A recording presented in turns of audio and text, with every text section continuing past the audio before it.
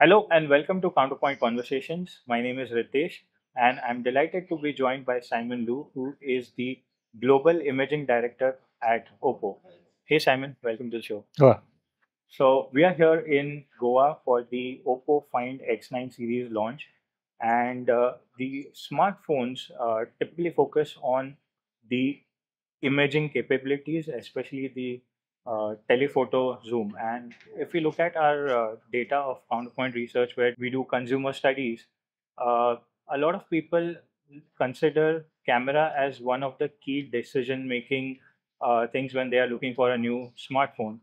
And we are seeing is a new trend where uh, we have a 200 megapixel sensor paired with a telephoto lens. So, can you tell us more about what was uh, the thought process behind using a massive sensor for a telephoto lens rather than on the main camera? Okay. Um, so for the tele side, um, basically it means a few things. The main thing would be that we will have the capability to provide uh, to capture something rather distant to you, a longer distance. And usually the farther the distance the object is, it means the smaller it will get. Right? It also means that it's more difficult for you to actually see it, even for your eyes. Right.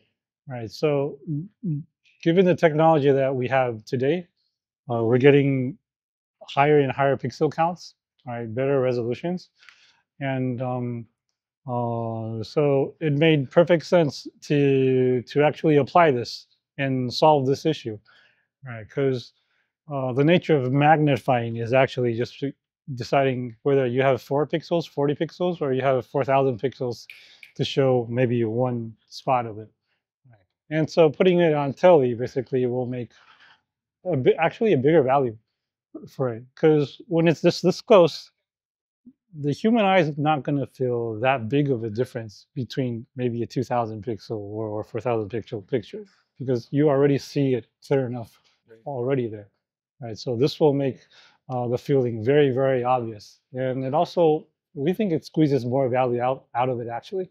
So, I am a hobbyist photographer and I love to click photos. And uh, I also want to uh, go further and capture those zoom shots, right? But uh, there are a few challenges over here. Uh, because these are handheld devices, we are not using a tripod, and there is a lot that the phone has to compensate for. There is handshake moment and uh, all those other things, and you do have OIS, but it also gets a little bit more tricky when you are shooting in low light. So, what have you kind of done to ensure that you know users can click blur-free photos that are crisp, clear, and detailed? Okay, um, so uh, nowadays most of the phones have OIS and EIS combined all together. Right right? And you may have four to five axes of stabilization in place. And um, but at the end of the day, the most critical part is whether the sensors in the phone itself can distinguish is this an actual intended movement or is it a simply shake that we should try to remove, right? So this is actually more about the phone understanding the pattern of the human hand, Right. So once the phone learns this pattern, then we know what are the stuff that we actually really need to eliminate and do the correction. Because simply correction, simply correcting is actually the simple part. Choosing what to and what not to is rather uh, the difficult part in terms of shaking and stability.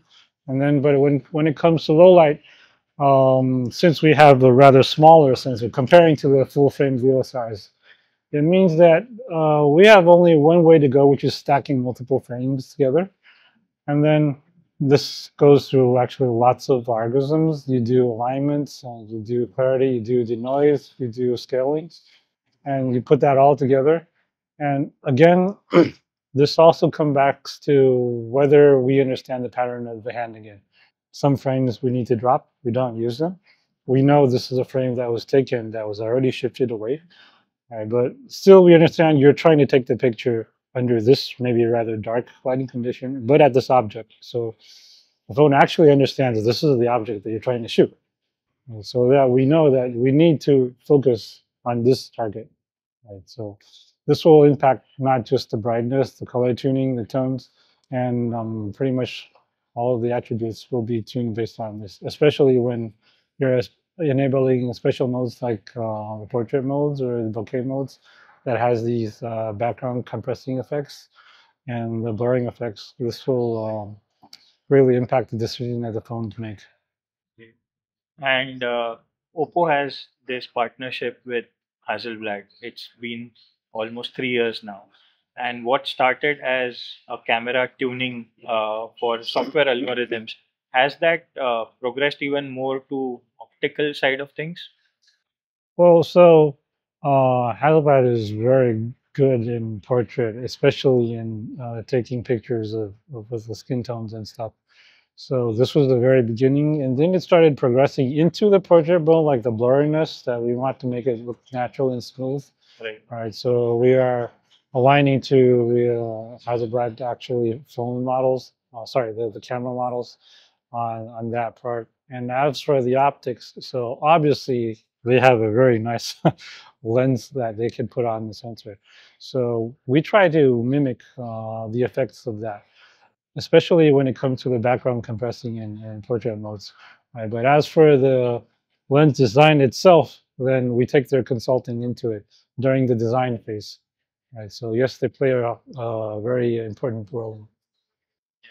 That's a very interesting point that you brought, and uh, I think this is Oppo's first phone where you are getting a teleconverter accessory, right? And it's very interesting because uh, it enhances the optical range from 70 mm to 230 mm. So you can do direct 10x and even more, right? So it's an interesting accessory. I got to try it at the demo zone. Uh, but my question is, uh, who is the target audience that you are looking at with this accessory? Is it something that will uh, be uh, more appealing to wedding photographers or wildlife photographers uh, what is it that you are looking for from an audience point of view? You you you named two of the most important audiences actually. All right, so so this is able to provide 10x optical and up to 200 digital. All right, so this means uh, you could take it from a very very long distance. Now this is extremely helpful for wildlife because especially those that um, that like to take macro pictures, like when you want to take macro pictures of insects traditional way would be close up, right? But in this case, if you get too close, the insect's not going to be there. Right.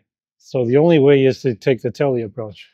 You, you could be far enough, but still get the macro pictures that you want to get. So right. it's very handy for the uh, wildlife pictures. And then for the people that are usually used to the big DSLRs with the big Canons, right. and these are a part of the people that would ideally also want to try this because it's a lot lighter, it's a lot smaller, power saving. It's it's it's a pocket phone basically you could use and being enhanced with this accessory. All right, so it's not a full DSLR, but it gives you a taste of it, and so it's more like an experimental approach to see if this is something that is um, really valuable uh, to the users, and it's going to help our decision whether to further explore in this direction for even more accessories. Right. And you can take videos as well uh, at that focal length. Right, yes, you can. Great.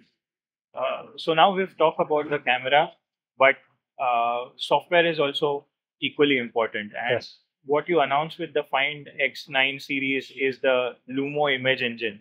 So can you tell us more about what it does, especially because both the devices, Find X9 and X9 Pro, are powered by the MediaTek Dimensity 9500 SoC, which has its own ISP and image pipeline. So, how do you kind of work closely with uh, MediaTek, and uh, how does the uh, Lumo image engine help in overall photography experience?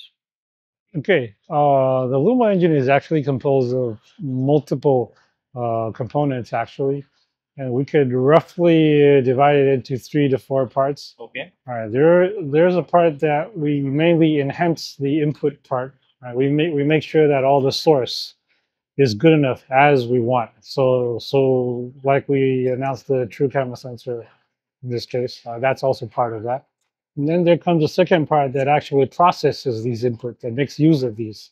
And then the third part would be the XDR, uh, uh, end-to-end XDR part. And then there's a fourth, which is related to the MediaTek. So uh, this is actually mainly the parallel computing. Right. It means that uh, we distribute the computing power that is being needed to multiple DSPs that is provided within the chip.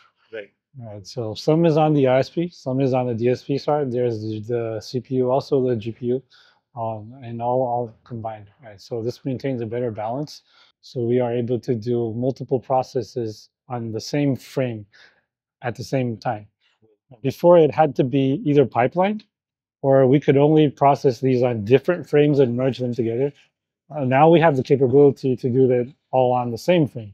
And then again, still stack multiple frames like these together to enhance it even further. Great. And that brings me to my last question. Uh, this is the day and age of mobile filmmaking. People are using smartphones to shoot films. They are using them to shoot reels and even something like these interviews and podcasts. So, what has Oppo done to kind of you know enhance the videography experiences on uh, the Find X9 series? I saw in the slides uh, 4K 120 FPS with Dolby Vision support and all. But can you elaborate more on what exactly a mobile videographer can expect from the Find X9 series? Right. So um, when it comes to video, the main thing different to still pictures is actually because it's something continuous, Right. right? So the tuning will be slightly different. Right? For for photos, we just need to make sure the color and exposure mostly are stable right there. But video provides this feeling that whether something is consistent or not, you don't want to feel something suddenly. No sudden flash, no sudden color change, no sudden frame movement when it's not intentional. And so uh, we spent lots of time on these territories of different aspects, all different attributes, but trying to make them smooth. Right, so this is basically the most time that we have spent on the uh, video part.